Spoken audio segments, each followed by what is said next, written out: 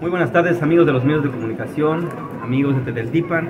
Efectivamente estamos aquí inaugurando unas oficinas muy importantes de servicios públicos del agua potable de esta colonia. Estamos aquí con amigos, vecinos, las autoridades locales, el presidente auxiliar Rubén, don Abel, juez de paz, amigos que realmente hemos trabajado de la mano con ellos, compañeros regidores, la síndico, mi esposa, la maestra Jenny Judith Martínez Galindo, y pues estamos entregando esta obra muy importante para esta agua potable que aproximadamente 150 usuarios, pero familias, 150 familias que están conectadas a, esta red de agua potable, pero estas van a ser las oficinas donde van a atender a todos los ciudadanos que pertenecen a, a esta, a esta agua potable, a esta colonia. Sí, aquí en esta parte de, Teltipan es una colonia de las lomas, es una de 14 colonias aproximadamente.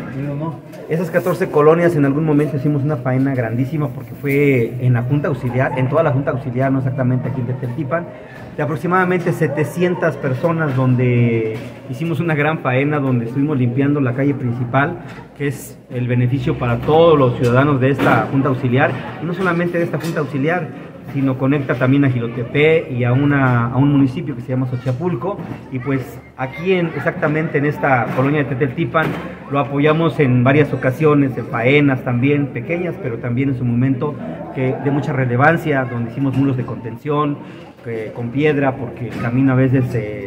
se, con las aguas se echa a perder, pero pues hemos, hecho equipo con ellos para ir rehabilitando esas partes y donde también eh, de parte del gobierno del estado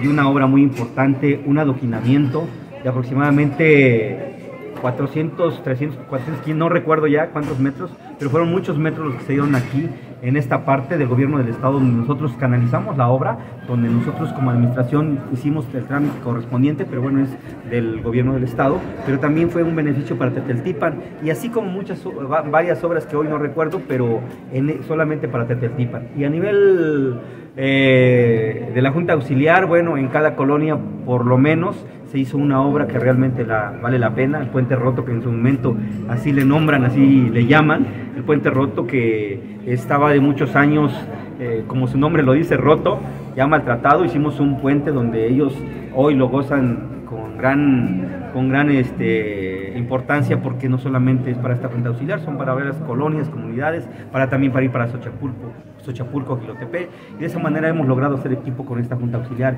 muy importante para este municipio de Aquí en Las Lomas hay un juzgado, juzgado de paz, pero también es Junta Auxiliar. Obviamente tiene que ser un trámite más para que Tetetipan se pueda convertir en una, en una colonia con un juez de paz.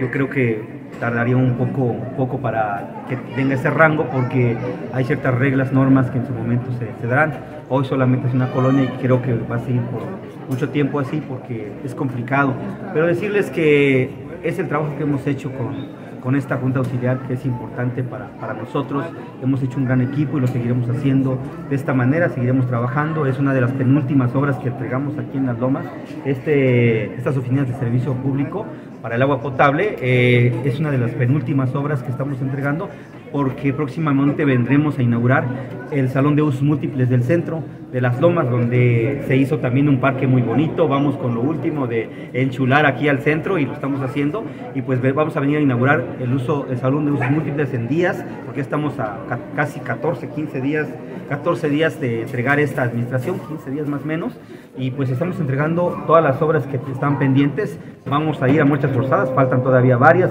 El día de mañana estaremos en Texcocoyohuac, eh, contentos con nuestros amigos entregando una rehabilitación de un salón de usos múltiples, o como ellos le llaman su auditorio. Pues de esa manera hemos logrado que en Zacapuaxtla se siga viviendo la grandeza.